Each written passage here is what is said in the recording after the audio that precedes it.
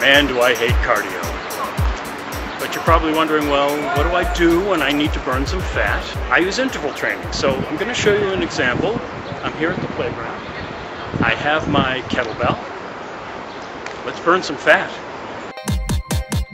So I think the best way to do interval training is to have a programmable timer. That's what you see on the screen.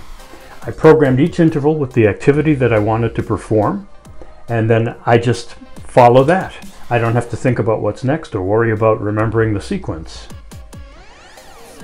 And this is Tabata style, so it's 20 seconds on, 10 seconds of rest.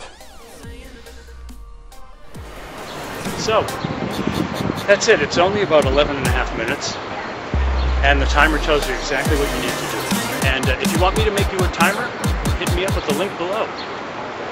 Burn some fat.